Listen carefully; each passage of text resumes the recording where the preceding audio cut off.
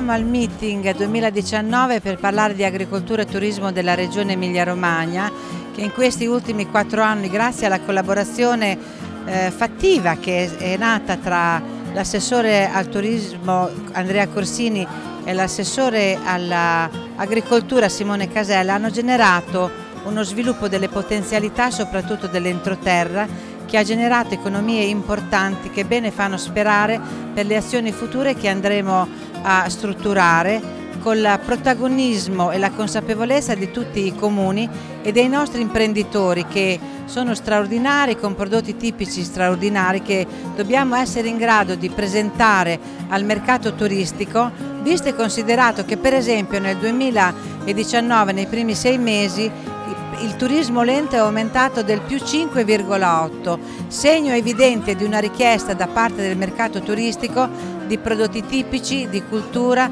enogastronomia di eccellenza. Ringrazio Fausto Fagioli ed Earth Academy per questa occasione straordinaria e importante che ci ha regalato di confronto in questa giornata al meeting di Rimini per confronti, idee e cammino futuro che dobbiamo fare insieme. Naturalmente la forza del territorio passa attraverso i GAL, i GAL strumenti straordinari per creare sviluppo. E eh, diciamo occasione ghiotta perché avere tre GAL qui assieme per parlare dell'Emilia Romagna perché parliamo da Bologna fino a Rimini. Quindi passerei la parola a, agli amici che ci raccontano qual è il progetto per il 2020 Bene, grazie Fausto. Un progetto che vuole essere un progetto pilota di sostegno ai piccoli borghi. All'interno del Galli, eh, Valli Marecchie Conca ci sono diversi borghi eh, spesso arroccati e abitati da antiche famiglie anche da un punto di vista, voglio dire, dell'età proprio.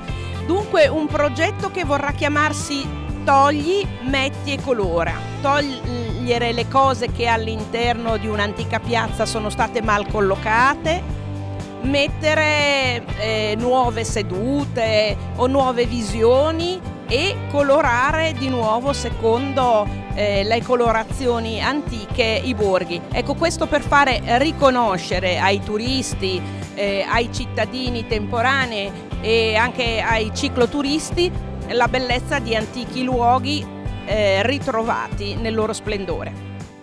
Beh, Autunno in Romagna è il primo progetto più importante per il 2020 perché oramai dobbiamo cercare di eh, far sì che la Romagna non sia solo la Romagna della costa della riviera che conoscono tutti, ma diventi anche la Romagna dell'entroterra, delle colline e della montagna. L'autunno è la stagione, la stagione ideale per conoscere meglio il nostro territorio, un territorio che è pieno di storia, di cultura, di sapori e di saperi eh, che rappresentano un plus per il turista. Eh, I nostri comuni, i nostri borghi saranno pronti nell'autunno ad accogliere quelli che oggi sono i turisti della riviera ma che in autunno verranno a trovarci. Sono Claudio Ravaglia, eh, coordinatore Gala Appennino Bolognese. Ricordo nei prossimi anni lo sviluppo del progetto Regia eh, dedicato al biodistretto. Eh, svilupperemo anche un progetto a regia sul marketing territoriale che terrà conto dei risultati conseguiti eh, con i progetti di valorizzazione degli itinerari non ultimo quello che sarà eh, l'insieme delle attività in cooperazione eh, fatte assieme ad altri GAL eh, per le quali eh, daremo risalto alla promozione del prodotto di montagna e anche alle attività che si potranno svolgere per lo sviluppo dei geositi, cioè la valorizzazione di quelli che sono i territori, i siti di maggiore valenza geologica eh, non solo del nostro Appennino ma dell'Appennino emiliano-romagnolo. Sindaco che è una buona pratica, è un progetto del tuo comune, quindi è proprio un saluto da parte di In questo caso il binomio agricoltura e turismo che ha funzionato. Eh, nell'ottica di questa, di questa sperimentazione cercheremo di finire, di mettere a posto il mercato domenicale proprio tutto nella sua interezza, nella sua globalità. Eh, grazie di nuovo, grazie mille. Grazie Claudio, grazie lui poi ha tante cose da dire ma non ha detto che lì si è creato un biodistretto, si è fatto un lavoro straordinario coinvolgendo tutte le aziende.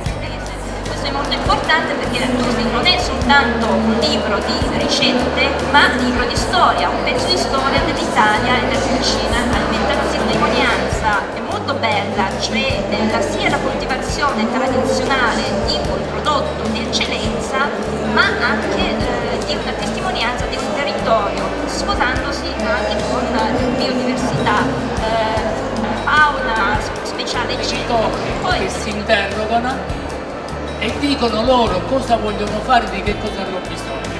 Io dico sempre uh, ai ragazzi che uh, vogliono fare delle cose, guardate le proprie radici, che è la cosa più importante, e vogliono soprattutto avere le stesse opportunità in ogni angolo di mondo. E questo vedete non è un piacere, questo è un diritto, noi abbiamo diritto di scegliere di vivere dove siamo nati.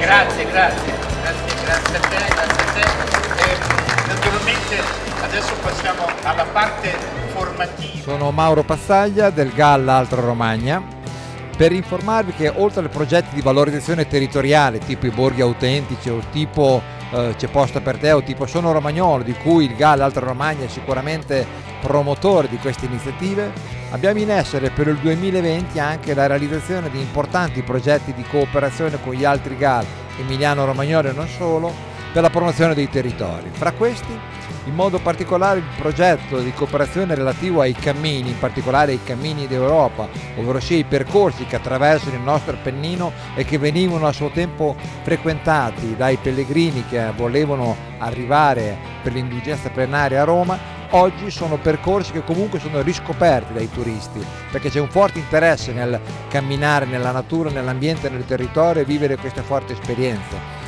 Oltre a questo proporremo anche progetti per la valorizzazione dei prodotti di nicchia minori ma importantissimi all'interno dei nostri territori, nonché anche valorizzare il paesaggio. Il nostro paesaggio ha delle caratteristiche di unicità e tipicità e per questo lavoreremo per individuare, identificare i paesaggi e proporre la loro valorizzazione. Naturalmente sviluppare un territorio si deve pensare anche al bene comune e questo progetto mi sembra straordinario per parlare di sostenibilità, parlare di una nuova economia del mondo rurale. Quindi ci facciamo dire da Federica e gli amici un po' il progetto cosa consiste e come potremo poi domani mattina noi cittadini comuni usufruire di questo progetto. Dopo 15 anni di esperienza di luogo di incontro e di scambio di buone prassi, Borgo Urbasino come fattoria multifunzionale è pronto ad ospitare un nuovo progetto di collaborazione con l'associazione Cambio di Marea. E lascio la parola a Stefano che ci presenterà un attimo il progetto. Cambio di Marea è un'associazione di promozione sociale che si occupa di restituire ai partecipanti, cioè ai pazienti che partecipano a questa sperimentazione sanitaria, le capacità di elaborare i propri dati e di usarli a servizio della propria salute.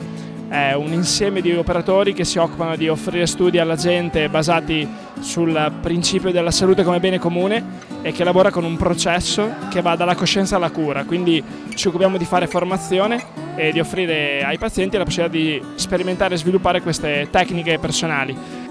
Cambio di Marea, oltre ad essere un progetto di salute, è anche un progetto comunitario e Borgo Brasino sarà il suo contenitore. All'interno di questo progetto ci saranno spazi per accoglienza, sia brevi accoglienze che periodi più lunghi, sia per pazienti legati alla, alla cura, sia per scambi internazionali che per persone che hanno bisogno di momenti di passaggio e ci sarà anche la parte sociale con gruppi di coscienza, soprattutto su nutrizione ed emozione nei territori vicini ma anche nella, nelle province adiacenti. E progetto... Caro Andrea, raccontaci un po' perché dobbiamo anche fare eh, professionalità. Grazie Fausto, grazie a tutti i presenti, all'assessore, ai docenti dell'ITS e agli amici dei GAL e dei territori, ai, ai territori, ai comuni, ai GAL eccetera, di aiutare i ragazzi di quel territorio a fare questi percorsi. Sui tavoli avete i tre, i tre esempi di, eh, di corso, Cesena, Bologna e Rimini, quindi siamo qui a disposizione con anche i docenti, i coordinatori della, della, degli ITS per dare risposte. Grazie, grazie a te. È appena terminato l'incontro sul rapporto tra agricoltura e turismo in Emilia Romagna, un incontro molto partecipato che ha permesso di mettere in evidenza come in questi anni si è lavorato tanto da parte della Regione ma anche degli operatori del territorio per creare questo connubio, farlo funzionare e portare persone. ha funzionato benissimo, può funzionare ancora, ci ha permesso di creare delle infrastrutture vere e proprie di ricettività, una capacità anche di intercettare dei desideri nuovi dei turisti che sono tipo quello di andare a piedi, di visitare in modo lento, in bicicletta, a cavallo e in ogni caso di avere come punto di grande interesse quello dell'agroalimentare, conoscere le nostre produzioni, magari vederle fare, ma soprattutto consumare i nostri prodotti e essere eh, guidati eh, dagli abitanti del territorio. In questo hanno avuto un grandissimo ruolo i nostri GALI, i gruppi di azione locale, ma anche i tanti imprenditori del territorio che hanno voluto scommettere su questo insieme a noi e fare un lavoro corale di squadra che è un lavoro che parte da un forte radicamento della cultura del territorio per pro proporre questo unicum, queste cose che ci sono solo da noi, una natura straordinaria, un'agricoltura che produce prodotti unici e un turismo che permette di avere esperienze forti e indimenticabili.